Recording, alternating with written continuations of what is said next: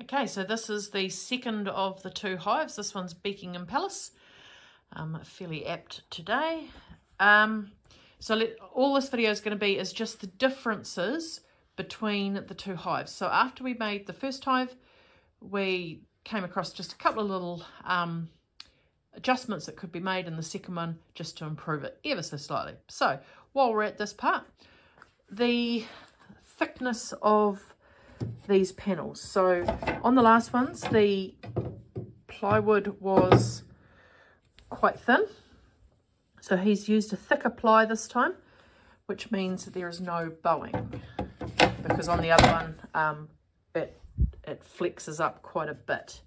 So what that does mean is, if you look along here, there's no um, there's no dip on the other one there, there was, which meant that the table that he had built last time, which just sort of hooked over there, won't. So he's put in these, what are they called, my love? French cleat. French cleats. So that way, the table, which it looks like that, just gets placed on. You can see how well it sits. So that will just live up in the lid like the other one does, but it's just so easy to just plonk it down. And on, so that way if I'm working in the main part of the hive, because I'm right-handed, that goes there so I can have my smoker and hive tool. If I'm working in the flow hives part, just put one at this end so that I can be here and everything is right there. So this would work really well if you're left-handed as well. You can have one on either side. Um, no changes around this side. So if you look at the hinges, they were quite rounded on the last one.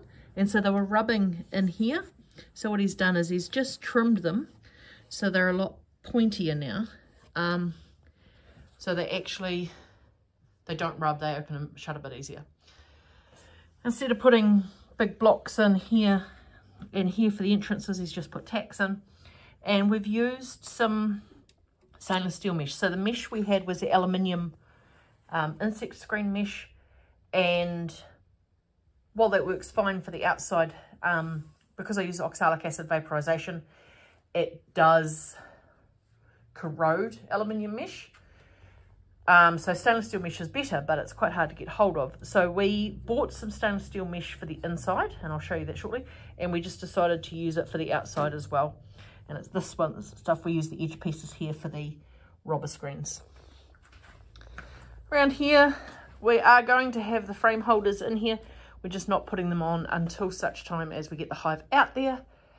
Um, last time when we installed them as we picked up the box to drop the bees into the hive um, the base fell away and it actually broke the the peg. So we've got to do that one again so here we are inside the hive. Nothing has changed in the flow frame area. All that's really changed in here is this mesh. So this is the stainless steel mesh. Um, ju we just ordered, I think, six pieces because we've got a, they, they're quite a pain, they can be quite a pain to cut. So we just got them and Paul just trimmed them down slightly to fit. Um, he said stapling was the hard, was the hard part, trying to get the staples in the holes. Um, you can see the drop trays or pest trays underneath. And once again, our little frame uh, queen excluder is there.